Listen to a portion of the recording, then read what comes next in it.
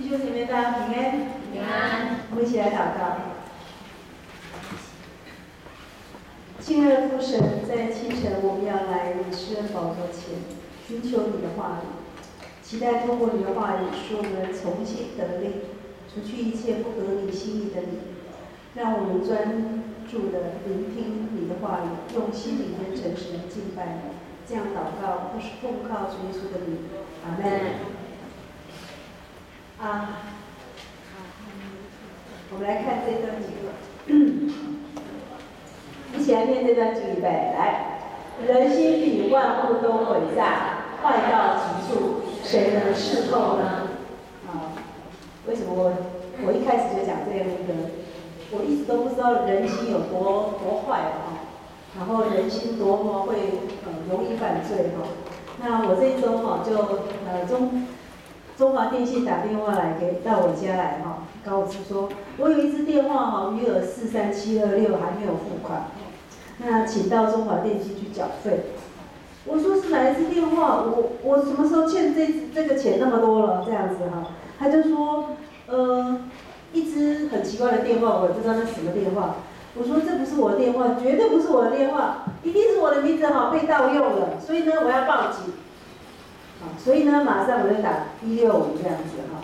那当时我真的是以为有人冒用我的名字，然后呢，呃，欠了这么多钱，四万多块哈。所以呢，他要诬赖我，然后叫我买单，就是他用我的我的名字去弄，然后要买跟我买单。所以我非常生气，我就快点打电话去报警一六五这样子。结果接了一六五之后呢，那我就以为对方就是警方了哈，所以就开始。以为全部后面对话全部都是警方，然后全部，呃，警方就把所有的个资全部都都问完了，然后我银行有多少家，然后存款余额多少钱，他后面讲一句说，怎么每一怎么每一个余额都是，呃，千元，哈，就是每一本簿子都没有写那样子哈，他就觉得有点傻眼那样子，我说还有一笔哈，三十几万，我说。那他说什么时候？我我说，呃，可是现在还在在途中，因为赎回来还没有，因为我要缴一笔那个什么，呃，保费这样子，所以我要缴一笔钱。他说，哦，还有那一笔这样子哈，所以呢，我就觉得，哎，怎么听到这一笔他就比较有感觉这样子哈，我心里面就觉得，嗯，怪怪的这样子，但是各自都已经被骗完了哈，这样子，好。那不管怎样，他后来都没有问到说我的存呃存款账号多少，然后那个密码多少，还好都没问这些哈。然后是像银行办案这样子一样一样办下来这样子哈。所以我全部都真的很信任，你知道我就很好骗，很信任哈，很信任，就以为他就是警官警方哈，所以呢就就他说什么就做什么这样子哈，所以把所有的银行全部都来告告诉他哈，我有我有几几本这样子。好，那。我我我我要说这件事情，就是说，你看有人的人心就是这么坏，好，人心哦真的是坏到极点哈。为什么？你看这是圣经说的，不是我说的哈。人心呃比比万物都诡诈哈，所以坏到极处，谁能够识透呢？你看，我还跟他讲，我念三个硕士，因为他那个什么调查我的呃那个身身家身份，我所以我想说。好像很很正常啊，你知道，我就以为我是打到警方去了哈，所以没办法，他们还两个，还两个这样子，反正就是觉得说，哎呀，我怎么是这么笨呢？我那时候就觉得我怎么那么笨呢？好这样子啊。那曝光了之后哈，呃，我觉得这件事情实在是有点不可思议哈，而且我觉得我自己哈警觉性很差，然后呢，我怎么那么容易相信别人哈？而且在思考，为什么有人哈？为了金钱，他可以用各种各种不同的不好的手段，然后去诈骗。他们用这样很高科技，而且沟通技巧非常高超哦，很很高超的沟通技巧，让你完全都没有办法设法哈。所以为什么这些人他不好用上帝给他的恩赐哈，然后去服务别人，他却用很多卑劣的那个行为哈，然后来伤害这种无辜的老百姓？我觉得我是无辜的。那这样的人，他每天能够好好睡觉吗？能够安眠吗？哈，然后他要付上多少的那种彼此内在的一些冲突跟代价？这样的人的心灵，他会睡得好吗？心灵会安吗？我常常想这些人，那这些人的心灵会富足吗？即使财务让他得早了，可是呢，内在里面会快乐吗？我想应该。不会快乐吧？而且应该他常常担心，因为他常常诈骗人家，一定常常担心怎样被抓到。哦，我想这个他危险性很高的，所以这样的人可以活得快乐吗？我常常在想，这样的人怎么办呢？哦，那我很生气的说，我明明知道，即使我我已经被诈骗过好多次，但是我从来没有一次被诈骗成功，这一次成功，这样子。真的？你三十几万不见了？没有啦。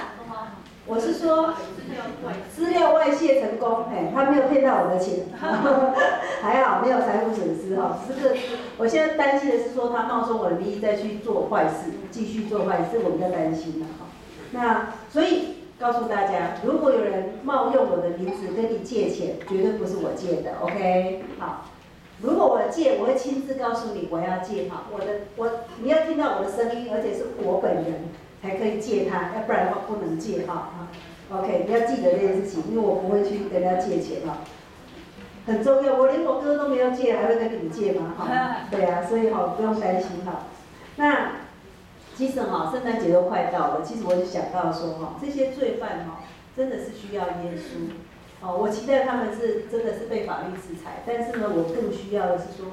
如果他们能够遇见主耶稣的话，他的生命才能够被翻转，他才可以改变。要不然这些人完全是活在罪中，完全活在罪中。哈，那我今天就是要跟大家，今天我们要讲一个有关罪人的故事。哈，那也跟罪有关，所以我们来想一下。哈，在犹太人里面，哈，他是怎么去看待罪人？啊，这件事情，我们来看一下这个，什么是罪人？哈，来，我们来看看犹太人对罪人的一个定义是这样定义的，他有。两种定义，第一个定义是什么？犯犯上道德上的这个过犯，哈。那第二种定义是什么？不守不守文士的律法，好，这种就是说他们有规定的法律，犹太人有违犹太人法律，只要你没有遵守他的法律的话，那个他就是犯罪的这样子，哈。那譬如说作奸犯科，好，跟吃猪肉，因为当时是犹太人，他们是不吃什么？就是说，有有一种就是，如果吃猪肉是怎么样？就那个怎么叫？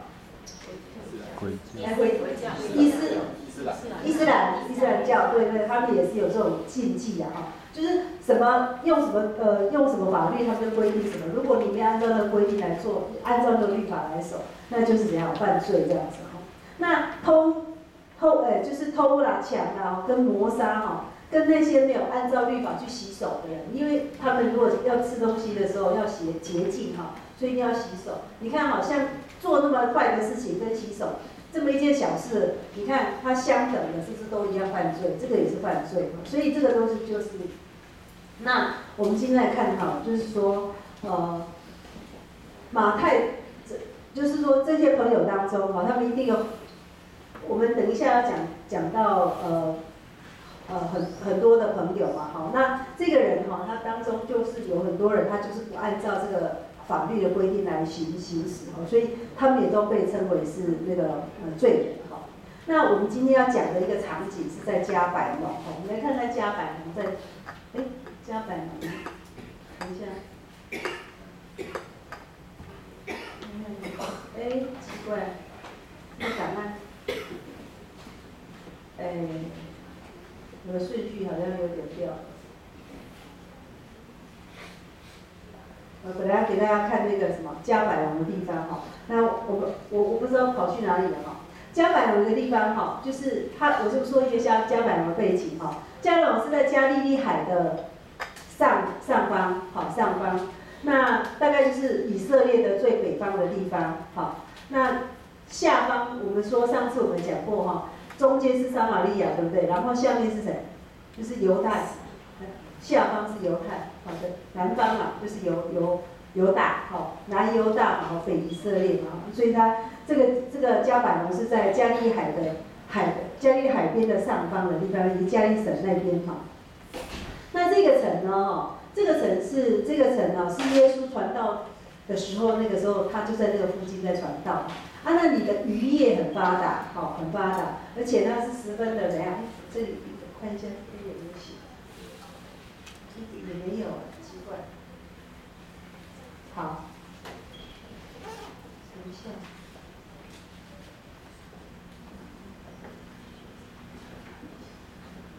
那个，刚刚放放错位置。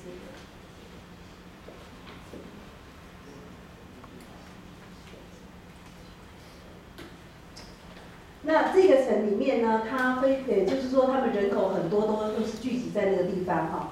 那呃是一个很富裕的那个地方，那个城市是很富裕的，而且它是在家里很很多人的地方，而且罗马的兵都扎营在那个地方哈。那这个城市非常的安定哈，而且它这个城市是各个地方的人都会来到这个地方，所以这个城呢，它有希腊跟罗马文化受它的影响很大哈。那我们今天哈要来谈的这个圣经哈。刚好是在马可福音在二章在提到这个罪犯，那这个罪犯是谁？他是呃，他经文没有说他到底犯了什么罪，他没有讲这个部分哈。但是他确定是一位呃罪犯哈，而且呢，他已经变成是一个瘫瘫子哈，就是掰开哈，他没有办法行走，而且呢，他生命就像那个什么行尸走肉一样哈，他没有盼望。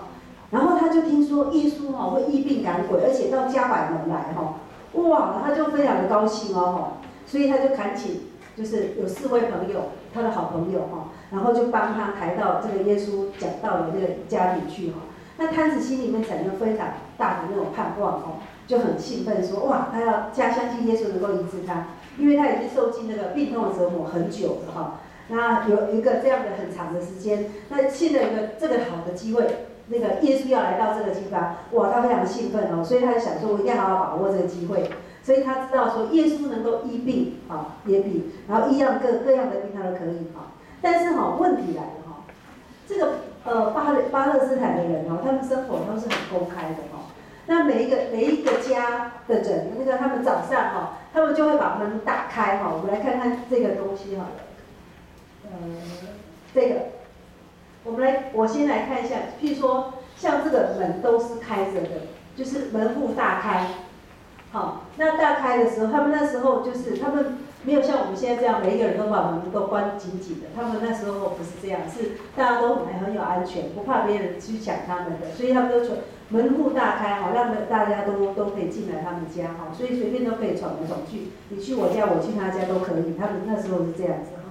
那除非说他有私事要办的话，哦，要出外出，他们才会把门关上，要不然他们都是平常都很公开的。所以你可以公开邀请别人到他家里来，哈。那比较卑微的人，哈，他们屋子没有设前厅，我通常一个前厅，然后后面是呃自己的餐桌那一类的。可是他们这个都没有设，哈。比较贫穷的大概就是没有这个东西，所以他门口，哈，一打开就是大街，哈，就是大街了，哈。所以。现在耶稣在的屋子就是在那个屋子的场景里面是这样的情况哈，那群众大家都是拥到那个门口堵到堵堵挤满的，就是都是挤满的哈这样子。那群众到那个地方的时候，呃，挤到水线不不同嘛哈，所以可是因为他是那个摊子，所以他没有办法呃挤进去啊，因为那个门口全部都挤满的人哈，没办法哈，他的要他那推推推推哈，他没有办法靠近。所以他就想了一个房子，想了一个方法哦啊，那我们干脆哈，他就按照这个楼梯哈，我们来看这个地方，有没有看到？用这个楼梯哈，他要上去哈，哇，他上去，这个问题是说，他这上去怎么办？这房子是屋顶是怎样？盖平的，它不是盖尖的哦，是平的哈。那呃，那怎么怎么垂下去？怎么怎么怎么进去啊？他要怎么进去这个屋顶？呃，房子里面怎么进去？它屋顶是用什么东西做的？你们知道吗？怎么样猜？茅草。哦，茅草，哈，好，有人说茅草，好，还有没有？木头。木头，哎，哎，蛮像哦，还有没有？石头。石头，可能比较难一点啊，石头要敲怎么敲？哦，可能那时候敲到来，耶稣都走了，有可能哈。好，然后呢？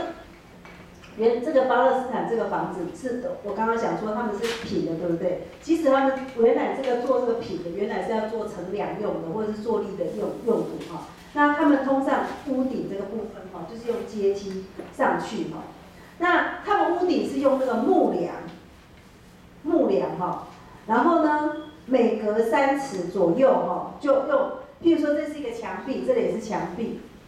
然后我现在假设了哈。我先用这个给你看，假设啊，这个是墙壁，这个是墙壁，这个是墙壁，然后它三尺，三公尺，三公尺这样三尺下去哈，耶齿因此的齿哈，三尺隔个三尺，他就用木梁，然后呢木梁跟木梁中间他是用什么？用那个灰泥，灰泥跟木材下去裹，就是呃改雕雕雕雕啊边哈，他主要改泡北，所以一一的是用木材跟呃那个灰泥把它弄弄弄呃把它呃盖盖盖平的这样子，所以上面它是用那个，那有一些哈盖久了之后哈就会长出那个什么杂草出来哈，所以其实要松开要敲其实是很简单。好，如果要把这个屋顶弄掉，其实是简单的，而且它是三尺、三尺、三尺，所以它可以把这个中间啊翻开来哈。他们就如果他要修补，就是还是可以修补的哈。所以整个屋顶上面就用灰泥的把它填平哈。所以呃，要到时候如果说呃有这种状况，我们来看这这个状况，大家就比较知道。好，我们看到有没有看到上方？有。有没有？上方有没有木梁？我们看到那个木梁？好，OK，他就从那个地方哈，然后用呃，他有一个柱子哈，然后就把它垂下来。那那那些人就把它弄垂下来，这样有然后类似被单的东西，就让它垂下来。好，所以我们就看到下面那个摊子就是这这样的一个样式。好，那他们把它挖了完了之后垂下来之后哈，耶稣就体会到什么？耶稣这些人他们的什么？信心，对不对？那么的难哦，就是到底有多难哈？这样子要要这样做哈，他其实他就是不不害怕那些拥挤的哈，他们很不害怕，他们就是要见耶稣，而且他们就是要医治，所以他心里面就说我要我要有信心好，然后吧，我有我对耶稣有信心，我相信耶稣可以医治我，他那个迫切那个恳切的灵哈，在他里面，所以他就是强的就是要去的哈，然后。他就是这样垂下来之后，耶稣就看到这个摊子的信心，还有这些四个朋友的信心。他说，耶稣见到他们有这样的信心，他们，所以那个他们是指指哪些人？四个朋友。四个朋友，还有谁？还有摊子哦，不是五个人哈，他们这样，他们都有这个信心哈，所以就跟他讲说，你的罪，那小子啊，你的罪怎样赦啊？所以耶稣有什么赦罪的权柄哈？所以从这里就知道说，哇。耶稣说你的罪赦了，所以表示这个人是什么？是不是罪人？对呀，是罪人哈。那耶稣因为耶稣没有因为他是罪人就没有理他，好，耶稣看见是他的信心，所以他相信主能够医治他，所以耶稣先赦他的罪，然后再怎样，再医他的病，好。那这个就是哈圣诞节哈，我们现在在庆祝圣诞节，耶稣降生的一个主要目的就是做什么？来，耶稣。降生主要目的是做什么？救恩，救恩，就是为了拯救你是罪人，我们都是罪人，你是刚刚一罪人哈，那蛮奇的，好，我们也是罪人哈。那我们刚刚讲过嘛，刚刚说犹太人的律法里面有两种，那种都是罪，道德上的罪，一种是不守法律的罪，是犹太人认的，不过我们自己也是有很多这样的类似的这种问题哈。所以呢。耶稣呢，他就是要怎样？耶稣的名字，这个名字就是我们要在万人当中，从万百姓当中，从罪人当中怎样拯救出来？啊，从罪的当中拯救出来，这是耶稣的一个定义啊！定义是这样定义的。所以耶稣呢，爱罪人，而且他要罪人要先怎样？第一个就是他要本身有相信心，要相信耶稣能够医治。那你有没有发现，我像我们遇到问题、遇到困难的时候？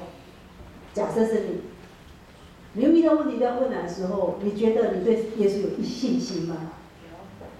有些人就会半信半疑，耶稣可以医治我吗？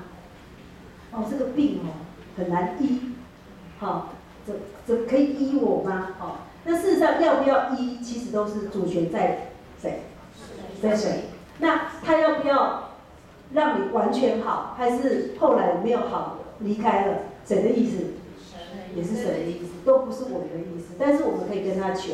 那这里讲到说，你就要信心求啊，这里是要信心求。所以耶稣对他的他他最主要就是，他是一个啊，只要你有相信，我愿意为你，然后除去你的罪，然后又愿意帮助你能够怎样得到医治啊，这个是贪子。所以贪子有这样的情况，他的罪就这罪就赦了，然后你得到医治哈。那他不仅是看到说。这个上帝哈医治肉体疾病的能力，他要看到他能够赦罪，而且医治人的灵魂这部分哈。耶稣看到这个人哈，他说除了需要健康的身体，也需要健康的灵魂哈。但是这个文士呢，啊，就是这些法利赛人这些人哈，他们对耶稣的行为怎样？他们总是开始都持了很多的反对跟批评评论，所以上他们心里就开始议论了，然后说啊。怎么这样啊？这耶稣都自称为自己是神呐，那是怎么可以这样？只要你自称自己是神，那那那是自己是神的话，那有耶稣的神性。假设你有这样子独自这样认为自己是这样，那你就是什么？说了一个什么？什么话？他刚刚说什么？健忘是不是？那个叫什么？健忘还是健忘？啊啊？健忘。好，我我用钱，我找不到钱。奇怪，那到底是什么？健忘嘛，健忘对不对？好，那应该是健忘嘛。那他就说他说健忘嘛，可是他不知道说其实耶稣真的就是神啊，所以他觉得他自己是神，他没有觉得他说错了哈，他真的是有医治跟赦罪的权权能嘛哈。那所以呢，耶稣他就用他的行动来证实他的言语了哈。所以耶稣就告诉他就告诉了大家说哈，哎，你到底是赦罪比较容易呢，还是要使贪子行走？到底哪一个比较容易？我问你们，涉罪比较容易还是行走让摊子起来行走比较容易？涉罪都不容易。啊，都很难呢。哦，如果不是神，大概都很困难，对不对？问题是耶稣都做到了，那他是不是神？是。是啊，他是神啊，哈。那呃，要说的就是说，很多时候哈，我们就是说。如果你不是神，你要让一个摊子能够起来行走，我想是有困难的，因为我们不是神，所以我们没办法。好，所以他在讲到说，耶稣对人的爱，其实马上就是有行动力的。一般来讲，我们说话，我们要做什么时候说话都很容易，但是如果我们没有行动，好来支持我们，其实很多话都是没有意义的哈。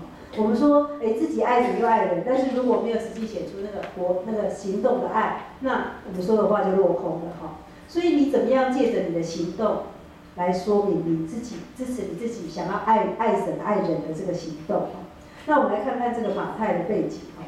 那马太现在就遇到另外一个，这个我们就不用看了哈。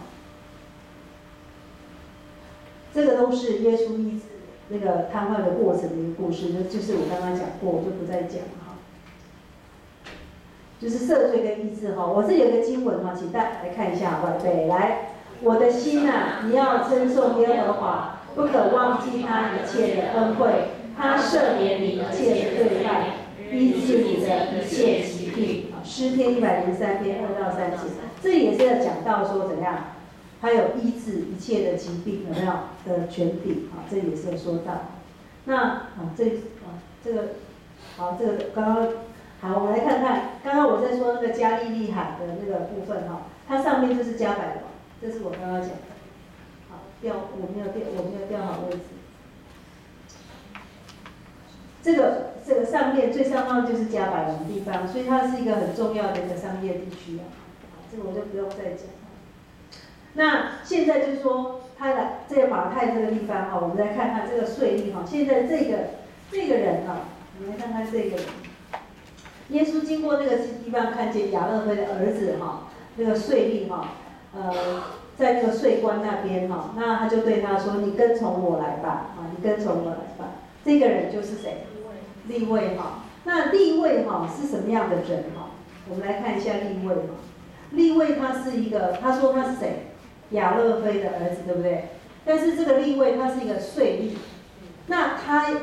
他的名字其实还有一个，就是也是叫做马太，好，所以立位跟马太其实是同样一个人，好，所以他也是十二使徒中的这个马太，好，那马太本来就是一个犹太人，好，我们来看一下，好，就说你跟从我来，哈，好，他说他就起来跟从了耶稣，然后呢，我们来看一下，这个。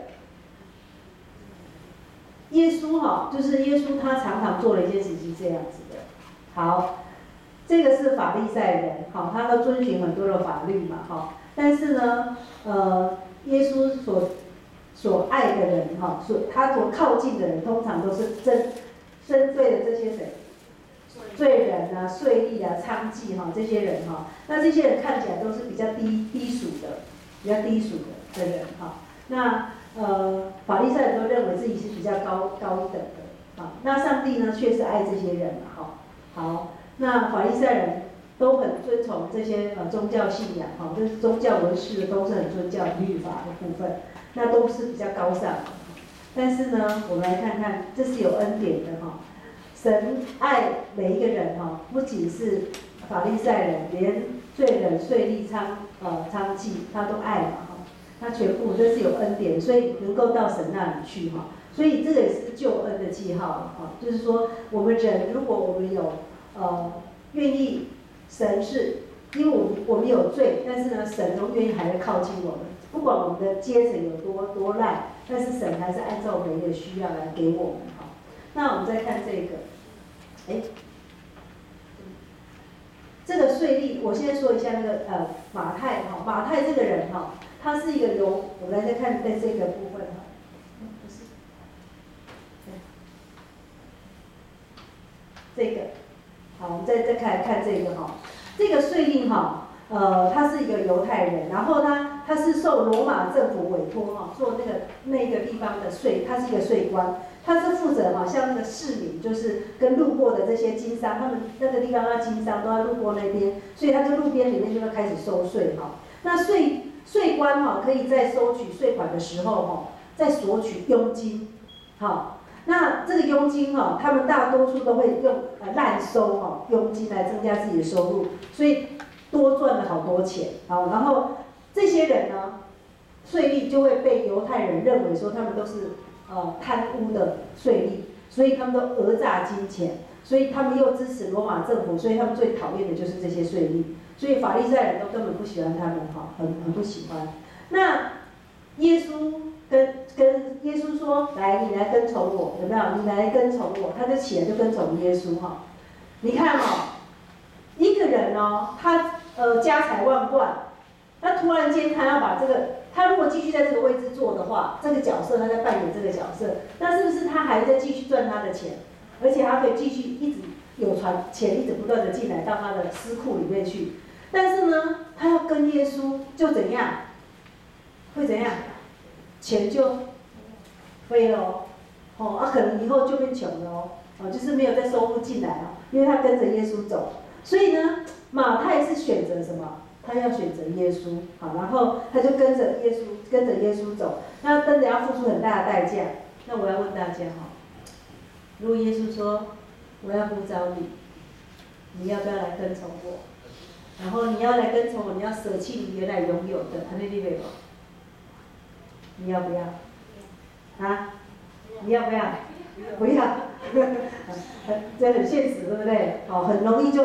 所以你看哈，当耶稣要呼召这个马太的时候，啊，或者说立位的时候，那马太就放弃他很丰富的这个财财富，啊，职业他的职业，然后要放弃哈，那马上就跟随耶稣哈。那神呼召你去哈，我我不知道我们有办法像马太一样哈这样子，然后放弃所有一切哈，跟着耶稣走。那其实要跟着耶稣要付上代价，就是你要牺牲很多事情哈。所以你会遇到很多困难，也会遇到很多抉择。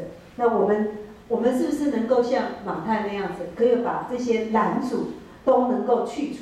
把你，你觉得你可以割舍这些这些东西哈？那我们有没有办法像呃耶稣一样，也跟罪人在一起？啊，马太经常欺负百姓，对不对？而且他跟他一起吃，耶稣跟他一起吃饭。那请问哈？我是一个很尊贵的人，那我跟罪人一起吃饭，那犹太人会怎么看？看耶稣？来，犹太人会怎么看？都看不起，对不对？说你就跟那个罪人在一起，哇，你这个，所以他对耶稣就觉得说很不喜欢，好，很不喜欢，他对耶稣这样的行为就很很讨厌哈。那而且很损害这个耶稣的名誉。但是呢？耶稣去寻找人，哈，他去改变，他知道耶稣的信息可以改变任何人，我们就不用害怕去接触那些活在最终的人，好，那些人就很重要。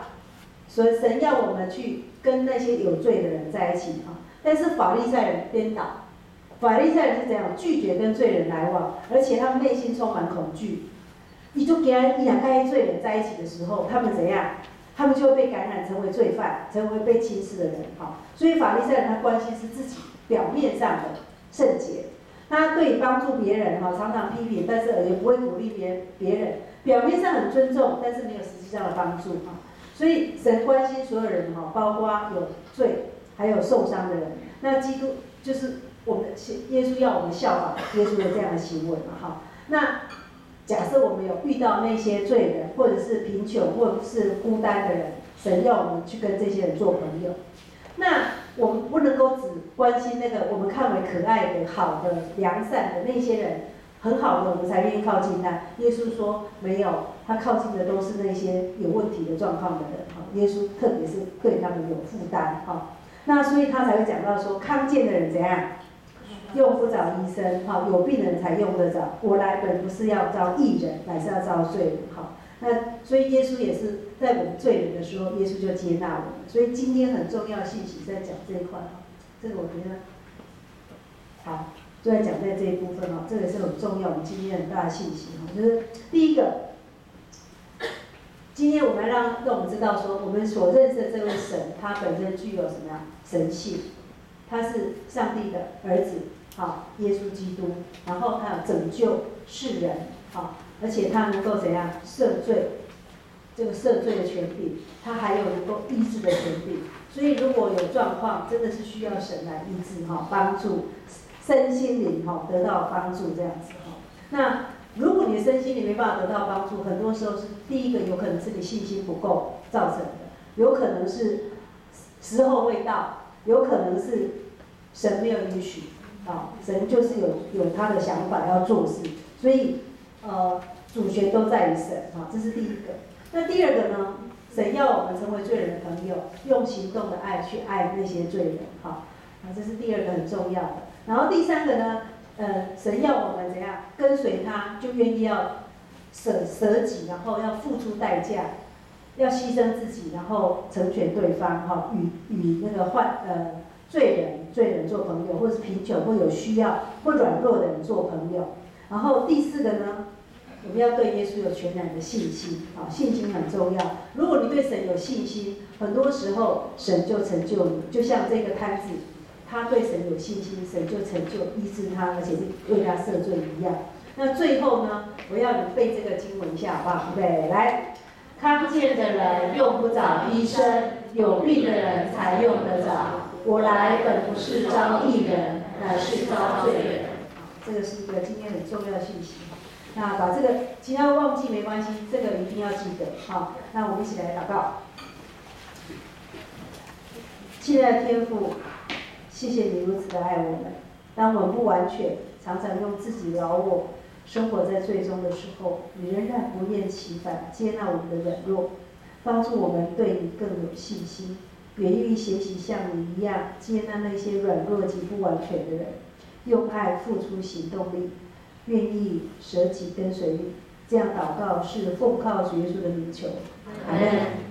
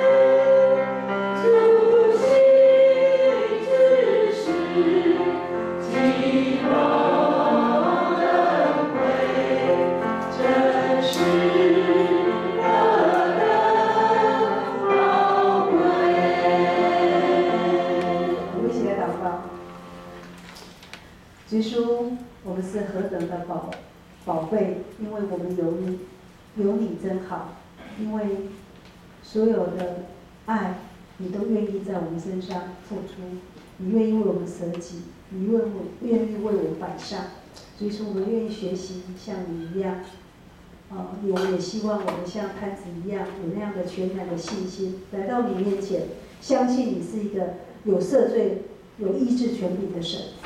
啊，让我们全然这样的相信你，让我们成为一个神你所爱的儿女，然后我们的生活、我们的行为都能够跟随主耶稣的脚中行，我们能够舍弃我们自己所拥有的，愿意付出一些代价，但是重要就是我们愿意来跟随你，就像那个马太一样。哦，这书都是我们要学习的，不管是摊子或者是马太，都有我们学习的功课。求你与我们同在，与与我们众啊弟兄姐妹同在。那我们生命当中，因为有你，我们就更美好。这样祷告，都是奉靠主耶稣的名。阿门。